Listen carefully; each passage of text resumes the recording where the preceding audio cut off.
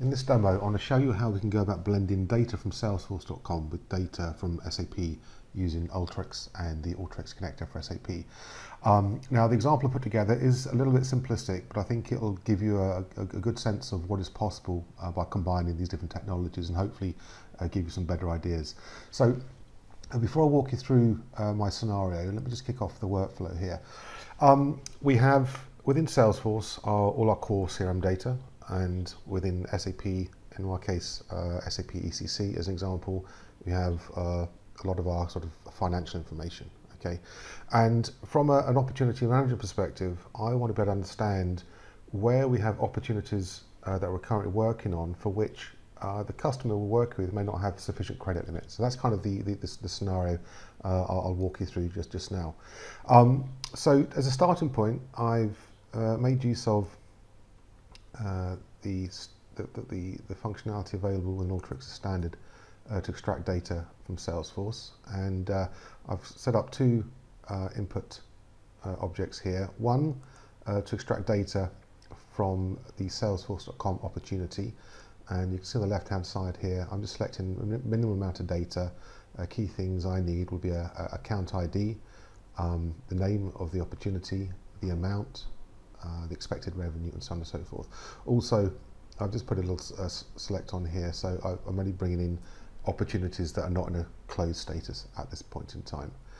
Um, I'm also going to extract data specifically from the uh, account object in salesforce.com. The reason I need this is the opportunity itself. When you extract data from that, uh, it provides you with kind of the GUID or the internal ID, and it's not sufficient for us to, it's not really human readable. So I need to extract data uh, from the account object as well as the opportunity object here and then uh, join them using standard tools so that I can map one to the other and as a result uh, get a level of information which is interesting and, and meaningful to me. Okay, so that's quite easy uh, to set up on the Salesforce uh, side of things. If I scroll down the screen a little bit here, then we have our extract from uh, SAP. I'm using a connection to the SAP ECC system, uh, making use of our Alteryx connector for SAP, and you can see all the various tools we have available at the top of the screen here.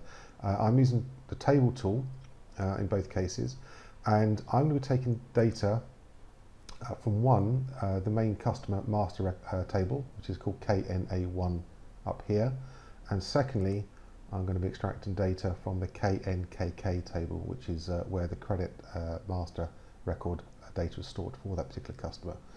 Okay, so in both uh, for both connectors, I've extracted the, the, the, main fields I'm interested in. Um, given that I'm going to do a check a little while uh, against the credit limit for this particular customer, um, I've pulled out the credit limit details. I'm also pulling out the key customer number details here.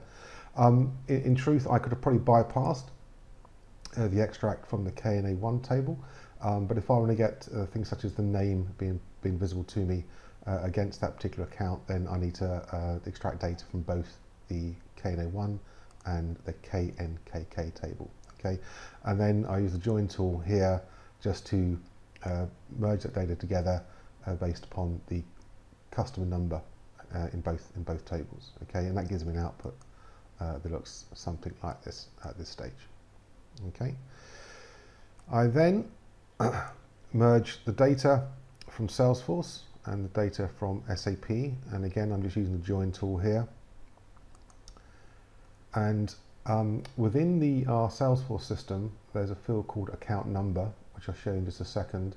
And this, the, this is the uh, internal number or the number that represents our custom number in the uh, SAP system. So I've done a, a, join on those particular fields here.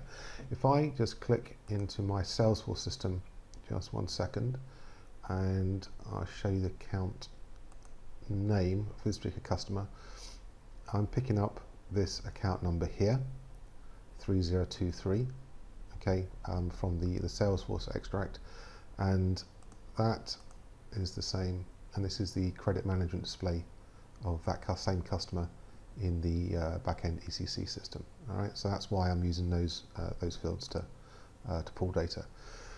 Um, once I've done that, uh, that data's been narrowed a little bit down. Okay, so I get a list of the all the opportunities uh, that have uh, credit data associated with them, uh, the amount of the opportunity derived from the Salesforce system and the customer credit limit coming from the SAP system. Okay, um, I'll just go a little further. I've used a simple little formula here uh, just to check um, the whether the customer credit limit is greater than the opportunity amount, and if so, I'm creating an output field called credit limit breach.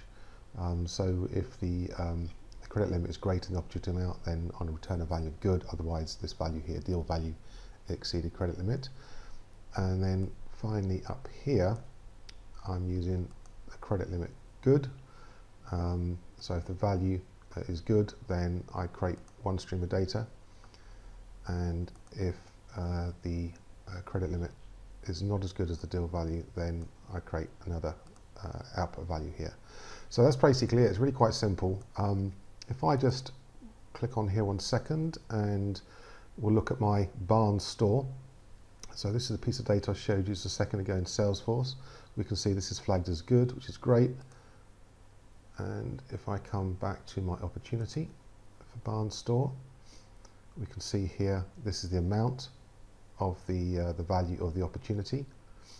And if I come to my SAP system, moving on, we can see that I have a credit limit of uh, over a million dollars. So the output here is correct.